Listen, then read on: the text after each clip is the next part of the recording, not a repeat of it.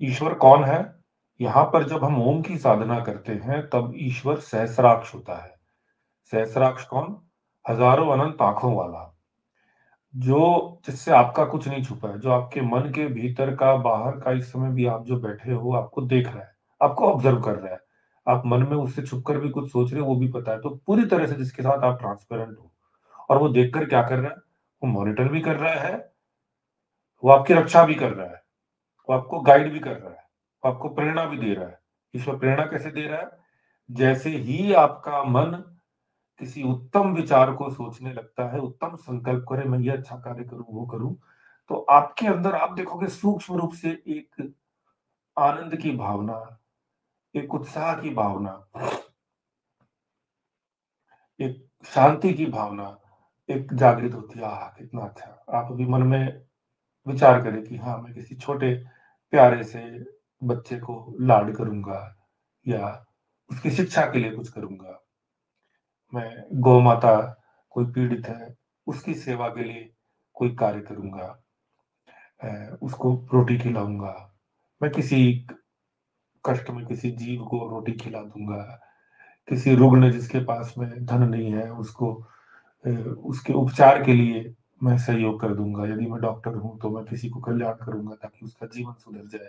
तो ऐसे कोई भी कल्याण की भावना करें आप अपने घर में, किसी के लिए या अपने मन में या मैं पूरे संसार में सनातन धर्म को सहज रूप से फैलाने का कार्य करूँगा। मैं उत्तम बनूँगा। मैं अपने ऋषियों के ऋण को चुकाऊँगा। मैं अपने पूर्वजों के ऋण को चुकाऊँगा। कोई भी जैसी आप अच्छा भाव आप लाओगे, तो आपके भीतर आप देखोगे खट से एक आनंद की, उत्साह की भावना आएगी।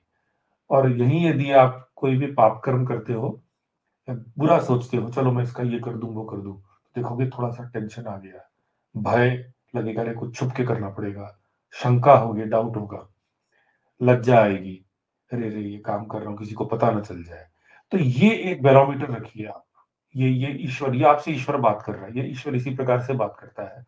तो ये आप बैरोमीटर रखिए, कोई भी कार्य करने में यदि अच्छा से अच्छा कार्य कर रहे हो, किंतु भय, शंका, लज्जा उत्पन्न हो रही है, तो इसका अर्थ है कि आप कहीं ना कहीं उसको अ आपका अप्रोच ठीक नहीं है। हम जब कैट का एग्ज़ाम देते थे, तो अभी तो पता नहीं, पहले एक प्रश्न आता था कि answer is right but the reason is wrong. तो हो सकता है कि आपका करना जो आप चाहते हो वो ठीक है, पर उपाय आपको और अच्छा करना पड़ेगा। तो ये आपातकालीन मर्यादा स्थिति बोलकर आप गलत पथ पे ना चले वो आपातकाल बहुत रेयर होते हैं।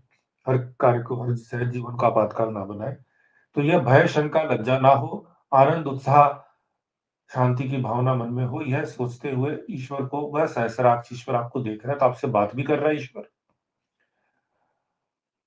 आपको मॉनिटर भी कर रहा है, कुछ छुपा नहीं है, आपकी रक्षा भी कर रहा है। तो ऐसे जैसे माँ के गोद में बच्चा बिल्कुल प्रसन्न होकर सुरक्षित मैं माँ के गोद में आ गया, अब मुझे कुछ नहीं चाहिए, मेरी रक्षा हो जाएगी, मैं आराम से सो जाऊँगा। या जो भी मैं खेल-कूद करूँगा, उसी में बैठकर चाहे क्रीड़कम से, खिलौने से खेलूँगा, आनंद लूँगा, इतराऊँगा। तो वैसे माँ के गोद में हम ईश्वर के गोद में बैठे हैं, सहस्राक्ष का अर्थ है कि ईश्वर ने अपने गोद में रख रखा है। उस ईश्वर के विराट ईश्वर के मन में बैठ के करुणा हम्म यह करुणा के लिए है और जिस भाव की आपको लगता है कि इसमें न्यूनता है, उसमें आप अधिक ऊपर-नीचे सुर को कर सकते हो।